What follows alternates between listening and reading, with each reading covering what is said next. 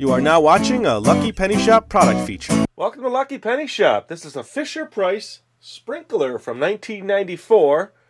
He's very cool. We cannot test him because our studio equipment here would get soaking wet. Uh, but let's just say he works, but we don't know for sure. The hose attachment is back here. Seems to work fine, screw fine. There's little holes around the base here. And then look what happens when the pressure builds up. There's a plate back here that uh, moves in and out. And then he pops up. Cool. Got a little flower on the top. And then he's holding a little sprayer. That's the Fisher Price sprinkler from 1994.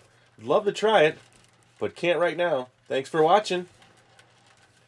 Wee!